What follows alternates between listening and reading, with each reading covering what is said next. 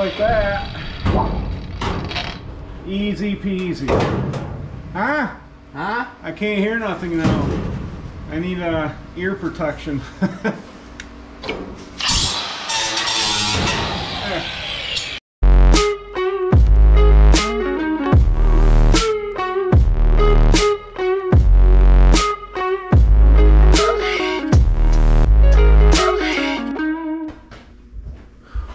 back to the channel.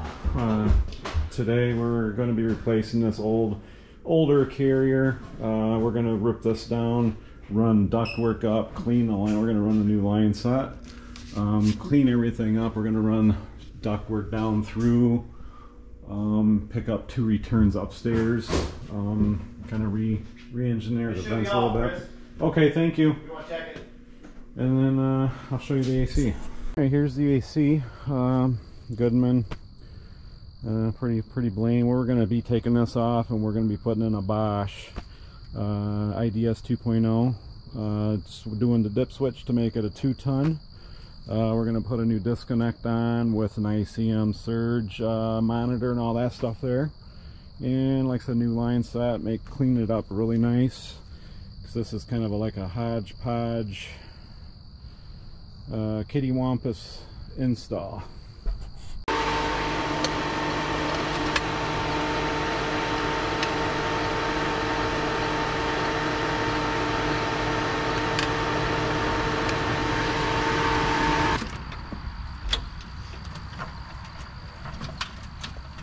I'm getting ready to wire up my Eaton disconnect box. Got these at Home Depot.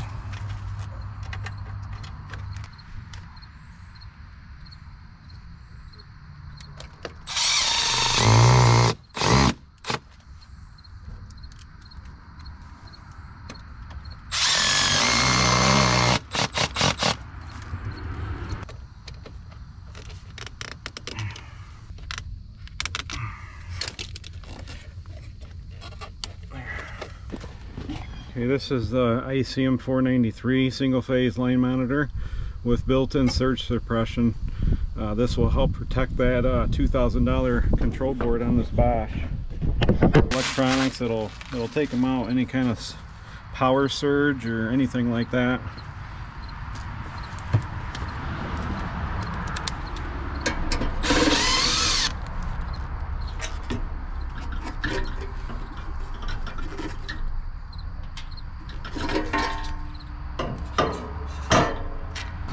So with this here, this is your 24 volt contactor. Your power comes in here to L1, L2, and it comes out T1, T2, and this just basically gets tied in. This is your air conditioner or heat pump side, and this is your power side. And you got your grounding lugs here. And uh, yeah, I'll show you how to do that.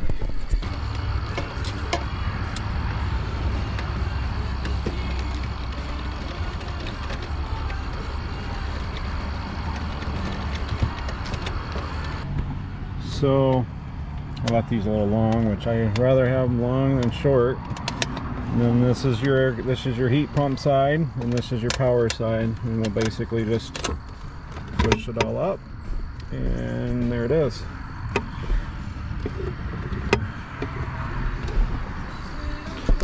And you have a little screw. The screw here goes in here, locks everything in place. It's a nice setup. Alright, got my line set all done, pumping down now, down about 159, we'll let that run for a couple more hours. Um, so I had a comment not too long ago, they were kind of curious on these wires. So on these Bosch heat pumps, the brown is your common, yellow is for your air conditioning, white is for heat, and then the B or blue is for your reversing valve. So with this heat cycle, so once once we go in, if it gets too cold out and this thing starts to go into defrost mode, it'll actually kick on the furnace or your, or your uh, emergency heat, which is your our furnace, which will heat up the evaporator coil and to help keep these lines warm, which will help dethaw everything. And if I'm not if I'm not explaining that correctly for you season heat pump techs, leave it in the comment section below. But I'm pretty sure that's how that works. Because um, up here in Michigan, we don't use too many heat pumps, and I just I just started putting these in a couple years ago, and I really like them. Uh, they they work a lot better than a traditional heat pump because it's an inverter and it uses only like three amps of power. I mean, look at that board. And so this is our dip switch setting. Can't remember. So J2 right there J2 this is a two-ton model. We come over to J2 oh J2 we switch this to off right there now that is a two-ton it's set up for two-ton and I have a uh, 24 slash 30 coil downstairs so this is a two-ton unit. It comes set up as a three-ton. You just do that switch dip switch and it's dialed in for a two-ton. That's all you got to do. All right, day two of two.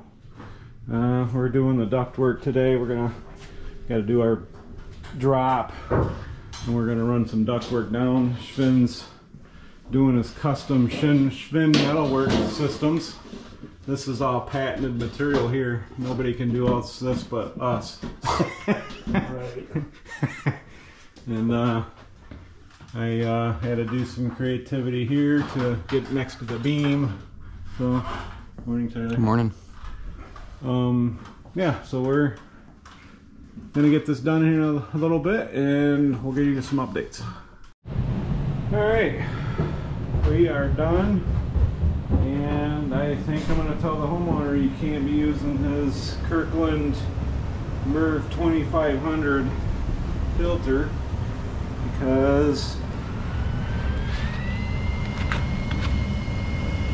I don't know if you can hear that, but it is sucking hard. I tried selling him an Aprilaire, but he didn't want an Aprilaire, so he's going to have to go with the old cheapos or a little bit less restrictive one inch filter. But we are done. Metal turned out great. Corey did his magic. Corey and his magic showing the metal work. Um, everything's done finally. Way to go, Schwinn. Way to go, Tyler. Listen to this, Corey. Yeah, that's what it does. Maybe it's like a row four or something. yeah. Yeah, I might have to tell him that. Alright, if you got any value out of this content, smash that thumbs up button and we'll see you on the next one.